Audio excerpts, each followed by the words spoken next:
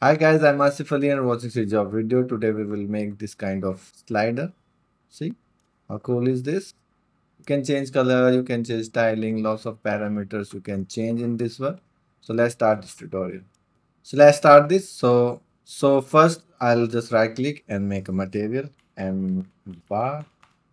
And to make that shape, basically I have already this tutorial, but this is the like you have to create it what already Unreal gives. So you don't have to recreate the wheel. So you just have to type here generate and there's lots of things round rectangle you can use and I'll go to unlit connect this here and see you have this now the uh, dimension we can change this is two vectors so I'll just connect this here and this is one and one so this is the one and one size but we can make it like 0 0.5 0.2 this one or maybe just 0.1 let's make some space. So you have this cool and then we have uh, we can change this to maybe 0.6 and 0.5 that would be better okay and then we have the corner radius. So by default this is 0.12 so maybe 0.1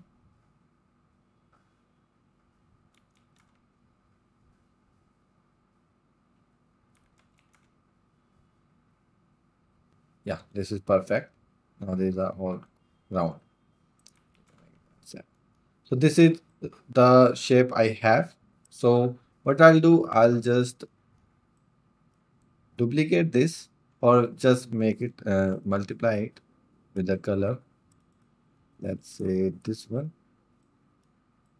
And now with the slider we have to dissolve it from one side to other but this should be something uh, unique. So what I'll do, I'll take a texture coordinate, shift C for the mask, and I'll take this gradient, red gradient, this. Then I'll take a smooth step and connect this here. And I'll make these parameters. So with the smooth step, I will have control if I want to make it sharper or fadier. So I'll just make this minimum and this maximum parameter and one and maximum should always be greater than minimum so I will add these together for the maximum then I will multiply this whole thing you can multiply here and then you can use the color at very end okay and let's also make this a parameter. Color okay cool. So now let's save it and check.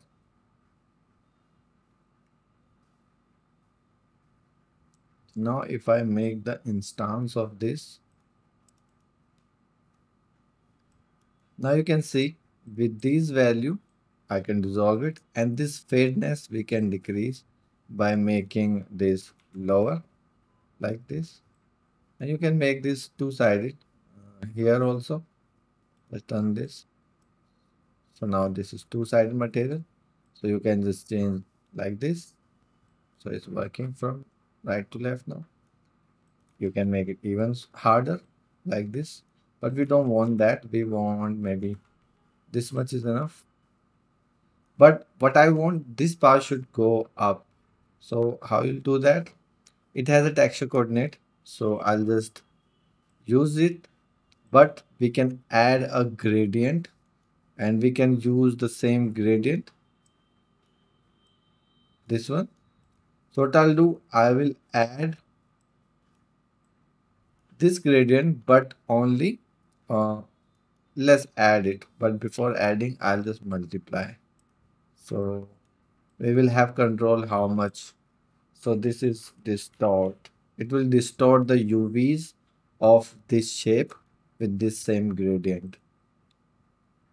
And we have the parameter to control how much distortion we want. So now it's going up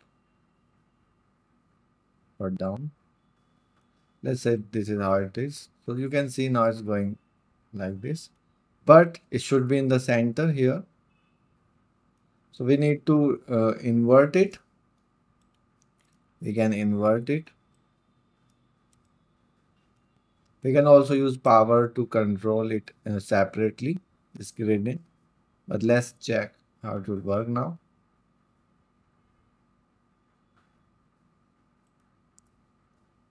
Yeah, now we can distort it like this and it's working fine. Cool. But this should also distort little randomly. So what you can do now, you can use this gradient, this one you have inverted it. You can take a texture, you can take any texture you have. Let's say I use just the noise or I have this aura texture, which looks cool. And I can just multiply it with this. And let's make a texture tiling also, parameter although I should make the tile xy separately but let's make one parameter and let's try it now.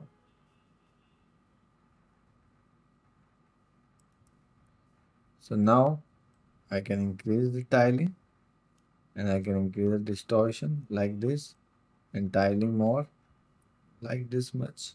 So it's up to you how you want. And distortion is too much. Maybe this much is enough. Cool. You can also pan this texture and also I will invert this texture actually. And I will pan this texture upward. 0.3. Let's save it.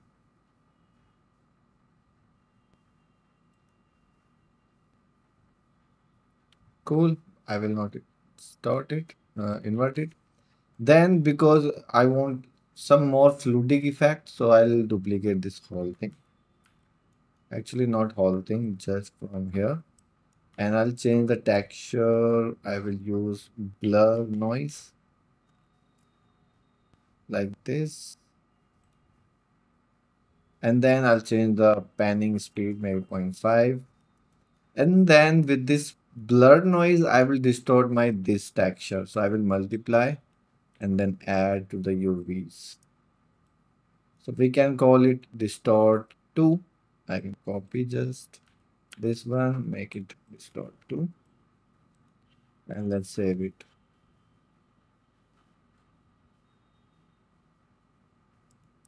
So now you can see this is by default and then we'll distort with second now there's a floaty effect you can increase it too much I can decrease the tiling a little bit now.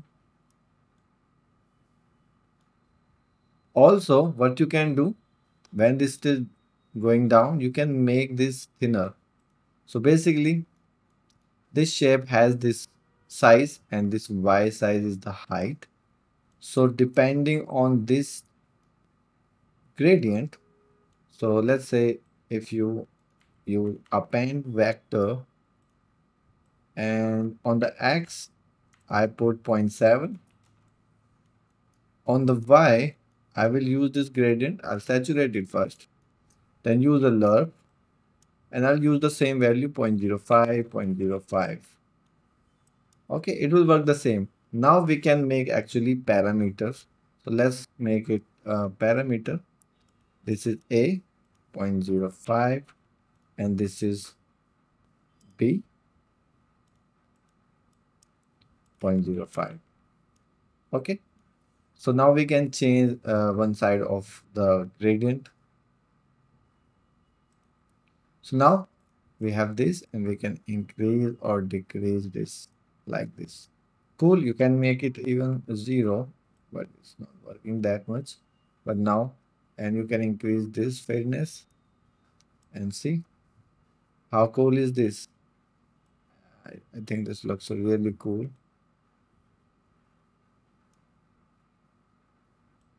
Not that much. Yeah. Cool.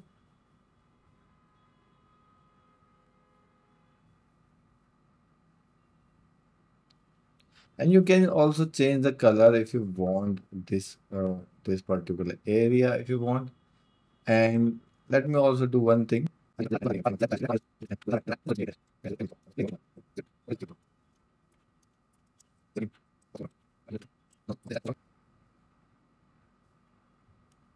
Now it, it should be smaller.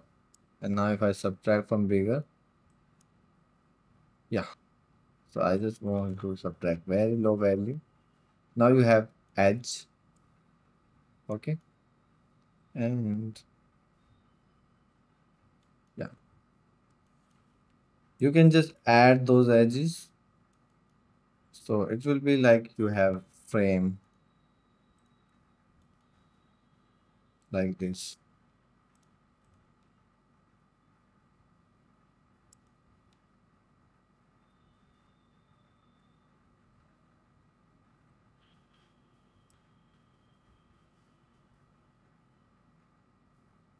But this should be above that. This blue thing should be. So I'll just add on that.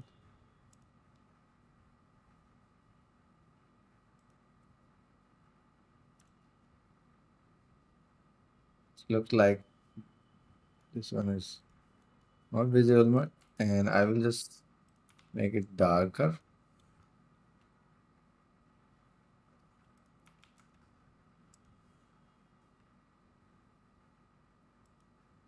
Yeah, it looks fine. Yeah, looks cool.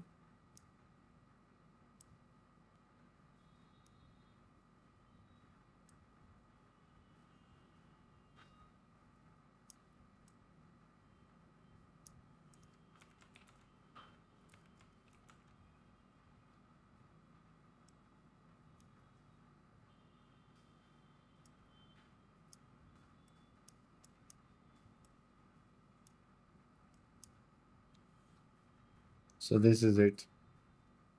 I hope you like. Thanks for watching. Keep learning.